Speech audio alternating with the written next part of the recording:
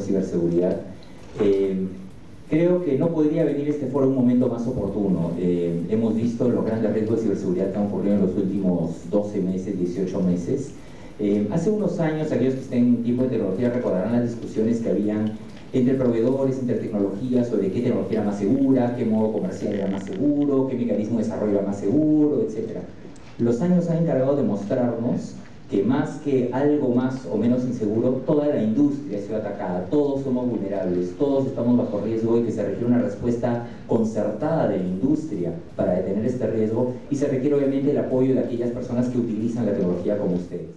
¿Cuáles son, ¿Cuáles son esas dificultades que tenemos todas las organizaciones en general? Primero, la dificultad que tenemos para identificar dónde concentrar nuestros esfuerzos, dónde debemos poner eh, nuestra, nuestra mira en temas de seguridad. ¿no? ¿Dónde que estamos teniendo problemas, eh, tenemos vulnerabilidades, tenemos amenazas, tenemos exposiciones eh, de la información que tenemos? ¿no? ¿Dónde están los riesgos? ¿Cómo estamos en el Perú? Obviamente tenemos el reporte y ustedes pueden entrar a la página web de Microsoft y bajar un reporte bastante gordito que muestra estas mismas estadísticas, pero para el Perú una lectura interesantísima. Pero quiero solamente mostrar tres o cuatro estadísticas relevantes. La línea ploma en la parte baja es el mundo y la línea azul es el Perú. El cuadro de la derecha es el ratio de encuentros de ataques y el cuadro de la izquierda es el ratio de infecciones. Quisiera ser muy claro, esto no es una estadística, no es una extrapolación, es una medición.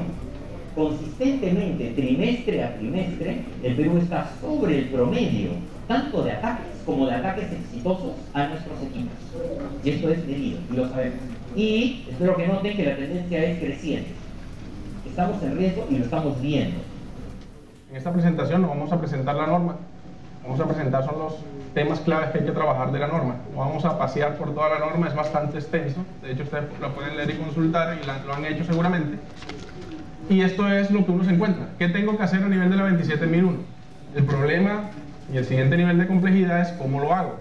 Para ello existe toda una familia donde te dicen cómo gestionar los riesgos, cómo gestionar los incidentes, cómo gestionar incluso la continuidad del negocio, cómo hacer medición de ese sistema, cómo hacer medición de que los controles están funcionando o no.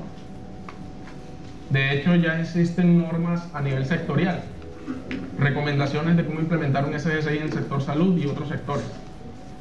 Pero realmente con lo que nos enfrentamos es cómo lo implementa, ese cómo que nadie nos resuelve. A pesar de que hay una guía de implementación que es la 27002, realmente cuando uno se enfrenta a realizar actividades en el día a día de la entidad, uno se frena.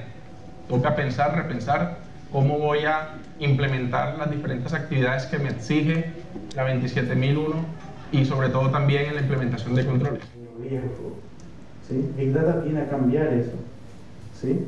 Big Data dice, los riesgos no están en el log del firewall. Los riesgos están en Twitter, en un foro. ¿Sí? Ahí están. Es ir a donde están las organizaciones de cibercrimen. ¿Sí? No esperar que ellos vengan a nosotros para que nuestros sistemas de IDS nos detecten, porque eso no va a ocurrir. ¿Por qué? Porque el cibercrimen sabe que ustedes tienen firewall, saben que tienen IDS.